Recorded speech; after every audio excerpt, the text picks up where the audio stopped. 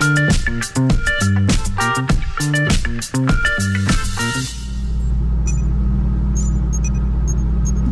אנדומטריוזיס אה, מכונה אמנם אנדו אה, בפי החולות, אבל זה ממש אה, לא בחיבה. כעת נמצא שהמחלה שפוגמת בחייהן של נשים רבות נגרמת כנראה על ידי חיידק. נפנה לדוקטור יורי פז, מנהל יחידה לאנדוסקופיה גינקולוגית ומנהל אה, אה, מרפאת האנדו בבית החולים רמב"ם. שלום. בוקר טוב שרון, בוקר טוב לכל המאזינות, זה כנראה מה שמעניין את מאזינות ולא מאזינים. Um, יש גם את המאזינים שאוהבים את המאזינות ורוצים שיהיו להם uh, חיים uh, טובים ומלאים. אכן, אכן, דואגות, דואגים להם. נכון. ברור. בואו okay. uh, ניתן קווים לדמותה של המחלה הזו שאכן לא ידועה לכולם. אוקיי, קודם כל נציין שאנדומטריוזיס זאת מחלה או תסמונת, איך שאנחנו בדרך כלל קוראים לה, מחלה מאוד נפוצה. היא פוגעת בנשים בגילי פוריות, בגילאים אה, הורמונליים שלהם, שזה החל מגיל 10, 11 ועד גילאים 50 פלוס. כלומר, כל הגיל שאישה רוב, אה, בגיל הזה אקטיבית, פעילה, רוצה לחיות, ליהנות מהחיים. ואתה אומר מחלה מאוד נפוצה, אך עם זאת לא שמענו אוקיי, עליה אנחנו... הרבה עד לפני כמה שנים. יפה מאוד, יפה מאוד. האחוז שמוערך אה, שפוגע בנשים הוא בין 6 אה, ל-10 אחוז. וואו. באיזה, כן. אוקיי. כן, כלומר חתך האוכלוסייה ענק, ענק, ענק, ענק. בערך 70 אחוז מאותן נשים הן יהיו סימפטומטיות. מה שנקרא, הם יסבלו מתסמינים כל מיני.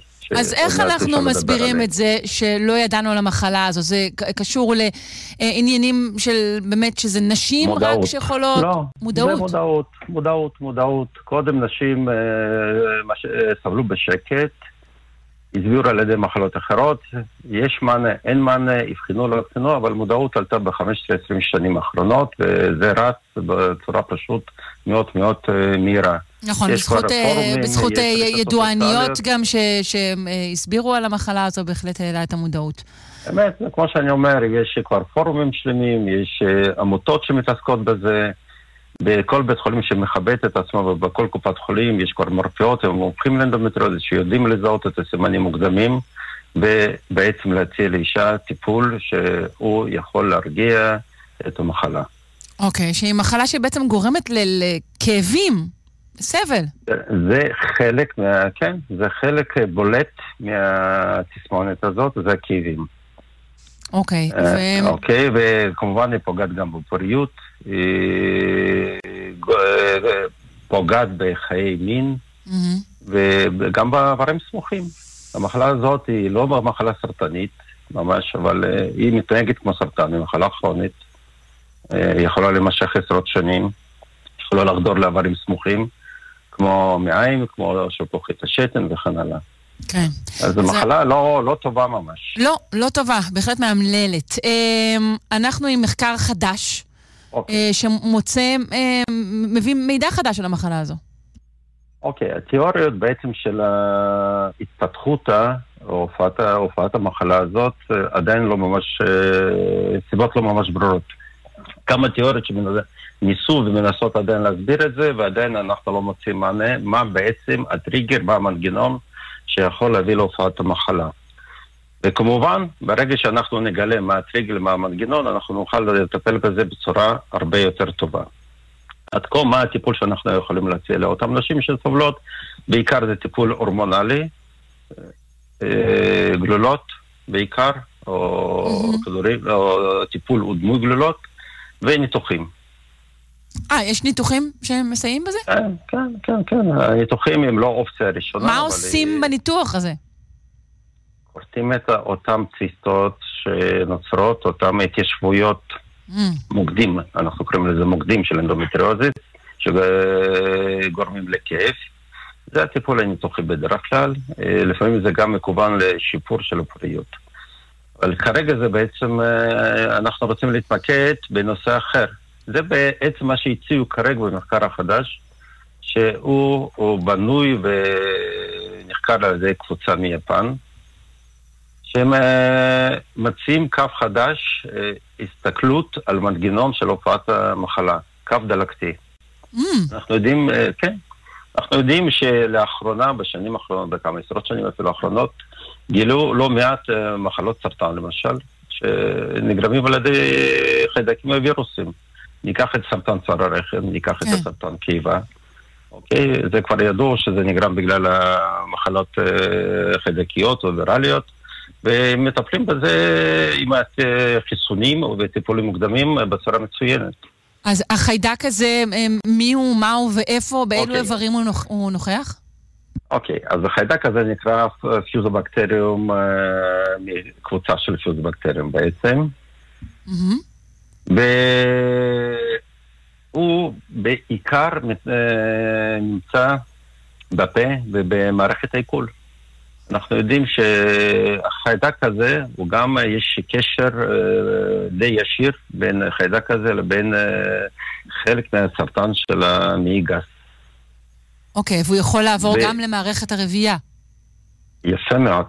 בדרך כלל הוא לא נחשב כחלק ממערכת, אה, מפלורה רגילה, התיישבות רגילה של חיידקים בנרתיק. שאנחנו יודעים שנרתיק הוא גם כן עשיר, ויש שם קולוניה של החיידקים שחיים בשלווה אה, אחד עם השני, ומתרבים וכן הלאה, וזה בעצם נורמלי, כמו בפה. כן. אין שום אה, הבדל גדול. הפיוזובקטריום הוא לא, בדרך כלל לא נחשב כחיידק שאנחנו מוצאים אותו רגיל. אבל בכל אופן, הקבוצה של היפנים, ועשו, מה שיפה פה, הם עשו מחקר כמו שעושים יפנים כל הדברים האלו.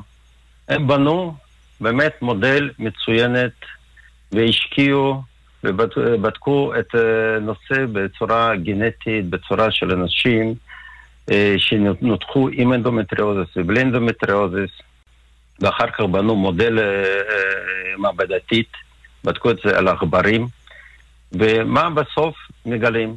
מה שהם מגלים ומה שהם מנסים בעצם לשכנע, שכנעו את עצמם ומנסים לשכנע אותנו.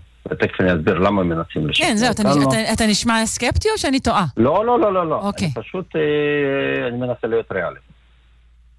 אז אה, הם קודם כל, הם אה, מגלים שאצל נשים שהן חולות אנדומטריוזיס מוכחות, הם עברו ניתוח ויש תוצאות של הפתולוגיה שיש להם אנדומטריוזיס, יש להם נוכחות של פיוזובקטריום בווגינה, 64 אחוז, מול פחות מ-10% אצל נשים שאין להם את המחלת אנדומטריוזיס. Mm, אוקיי. Okay. קודם כל הם גילו את זה, ואז הם רוצים להתקדם הלאה. אז הם בודקים אה, גנים וחלבונים בסביבה דלקתית שיכולה בעצם להאיץ את התהליך של הפיכת התאים, שהם תאים בשכבת רירית הרחם, תאים נורמליים, לתאים שהם שונים ויכולים אה, לגרום להתיישבות בתוך ה... אגן ובטן, כן. ובעצם שאנחנו מכירים בתוך אה, כאנדומטריוזיס. אבל רגע, רגע, יש לי שאלה חשובה. איך אנחנו לא כן. יודעים שזה לא הפוך? שהאנדומטריוזיס לא זה שקורא ומביא את, ה, את הפיוזובקטריום? שרון, מצוין, מצוין, אבל אני אמצא שאלה מצוינת שלך לאשר לסוף. או, אוקיי, בסדר. אנחנו פשוט כמעט לקראת הסוף, יש לנו עוד, יש לנו עוד דקה וחצי, שתיים לשיחה לכל היותר. אוקיי. אוקיי, אז אני אנסה להתקדם. אז הם, אה, אז הם אה, קודם כל בודקים את כל הסביבה גנטית אה, וחיידקית, מגיעים למסקנה שהמנגנון הוא יכול דלקתי להאיץ את הפיכת התאים נורמליים לתאים שהם משונים, ובעצם הם גורמים להתפתחות של אנדומטריוזיס. הם מגדלים את התאים, מזריקים לעכברים, מגלים שהדרך היא נכונה, ואמרו, אוקיי, אז אם זאת הדלקת, נטפל באנטיביוטיקה. מטפלים באנטיביוטיקה בעכברים, ומגלים שכמות התאים וכמות כל הסביבה הדלקתית, כולל אה, חלבונים דלקתיים וכן הלאה, היא הולכת וקוטנת משמעותית.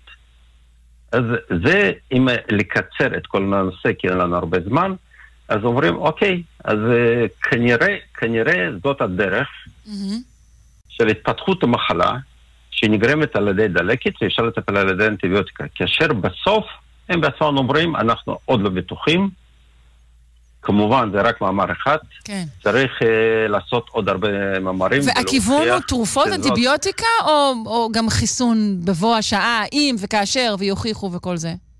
לא, לא חיסון, זה הדרך uh, בעצם רק מחשבתית בינתיים. יעברו עוד הרבה שנים על מנת להוכיח אותה, ואנחנו עדיין בנושא שאנדומטריוזיס זו מחלה מולטי-פקטוריאלית, כנראה צריכים להיות הרבה גורמים שמעורבים, וזה לא רק אנטיביוטיקה ולא רק הטיפול שלנו כרגע שאנחנו מוצאים הורמונלי, הוא אה, בעצם מענה מלא לטיפול במחלה הזאת. אז בעצם לשאלתי, שאלה שנקרא לה הביצית והבקטריה? יפה מאוד. אין לי תשובה. אני אומר שבסביבה של אנדומטריוזיס, שהיא סביבה משונה והיא סביבה חולה, עם ירידה במערכת חיסונית, כמובן, אה, כל מיני חיידקים יכולים למצוא שם, בית חם, בית טוב, וכמו ששאלת, מה קודם ביצית או תרנגולת? אין לי תשובה כרגע. דוקטור יורי פז, אה, תודה לך על השיחה הזו. נקווה שהמחקר בתחום אה, יתקדם. נזכיר שאתה מנהל היחידה לאנדוסקופיה גינקולוגית ומנהל מרפאת אה, אנדומטריוזיס בבית החולים רמב"ם. תודה רבה. תודה שרון וכל טוב לכולם. יום טוב.